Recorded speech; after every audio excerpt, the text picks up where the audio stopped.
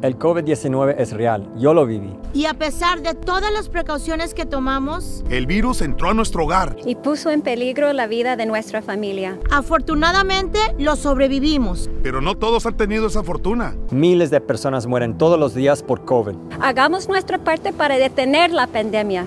Usa tu mascarilla. Y mantén la distancia con personas que no viven en tu casa. Juntos venceremos. Un mensaje de salud pública, Seattle y Condado de King.